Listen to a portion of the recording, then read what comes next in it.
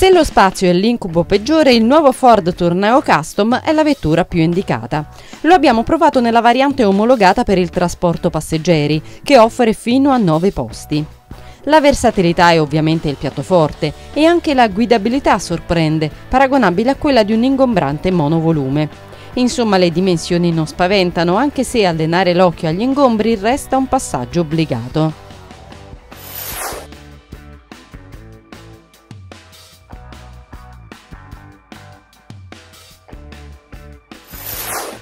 A muovere il torneo custom ci pensa un'unità diesel da 2 litri di cilindrata che in casa Ford hanno deciso di declinare su tre differenti potenze, da 105 a 170 cavalli.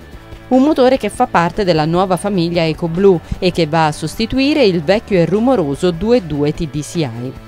La variante più potente regala le stesse prestazioni di un'automobile, con consumi medi dichiarati di circa 16 km per litro. La velocità massima è inchiodata sui 180 orari, dato che non stupisce, mentre l'elevato dato di coppia permette di muoversi con elasticità anche alle basse velocità. Chiudiamo con qualche dispositivo elettronico che avvicina ancora di più quel che nasce come veicolo commerciale al mondo automotive. Si va dal cruise control adattivo, che mantiene la distanza di sicurezza dal veicolo che precede, per arrivare al sistema di riconoscimento dei segnali stradali.